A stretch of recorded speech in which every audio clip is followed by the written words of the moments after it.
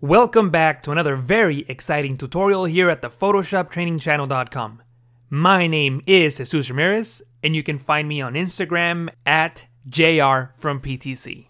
In this video, I'm going to show you how to use the Glyphs alternate feature in Photoshop. We're going to be working with this file here. We have this background group and we have this text layer. The text layer reads the quick brown fox jumps over the lazy dog and that's a pangram, a sentence that contains every letter in the alphabet. And this is going to help us see what the new feature in Photoshop is with the glyphs panel.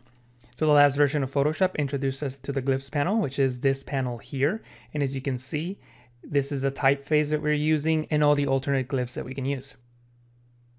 The new feature allows us to select a specific glyph and see if there's an alternate and swap it. Let me show you the slow way of doing it. So I'm going to select my glyph, that letter G. Then I'm going to go into the glyphs panel and I'm going to click on this drop down and select alternates for selection. And this is going to show me all the alternate glyphs for this character in this typeface. And as you can see, we currently have selected the letter G, which is a two-story G, an open tail G. And we want a single story, a loop tail G, which is this one here. So we can swap that out. Now, as you just saw, although that was quick, it took a couple clicks to get there. The new feature allows us to simply select any character, and then if the character has this block, this shaded block underneath it, you can hover over it and see the alternate glyphs for this character. In this case, we've selected a double story A, but we can swap it into a single story A.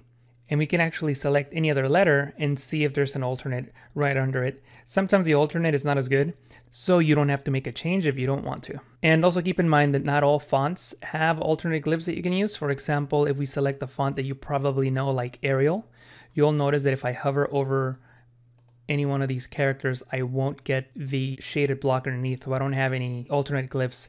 And if I go back into the glyphs panel and refresh the list by reselecting alternate for selection, you'll see that there's nothing there. Usually fonts that have the word pro in the name will give you an alternate glyph. So for example, this one called Chaparral Pro Bold, I can hover over the letter K here and see an alternate K. So you can select the glyph that best works for the design that you're going for. Also, there's this right pointing arrow, and if you click on it, it opens up the glyphs panel here on the right, but you don't really need it. You can just hover over this block and select the glyph that you want to use. And that's pretty much it. Let me know what you think about this feature. Leave a comment below. If you enjoyed this video, then click the like button and share it with a friend. If you're new to the Photoshop training channel, don't forget to subscribe. Thank you for watching, and I'll talk to you again soon.